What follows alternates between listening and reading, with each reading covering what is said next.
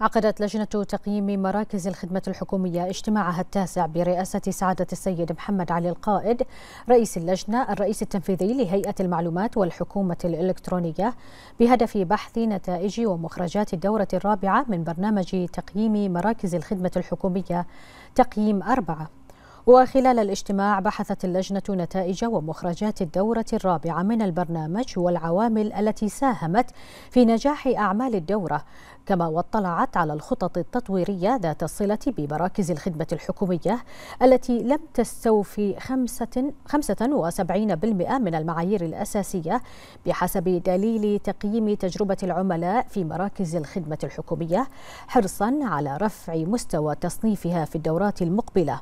كما وناقشت اللجنة آلية لربط برنامج الموظف الحكومي المتميز في خدمة العملاء ببرنامج تقييم.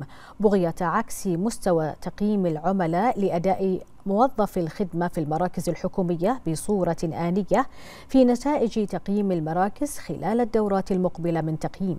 ما من, شأ ما من شأنه أن يسهم في تحفيز الموظفين ويعزز التنافسية لتطوير آليات العمل وتقديم أفضل مستويات الخدمة للمواطنين والمقيمين والزوار وأصحاب العمل.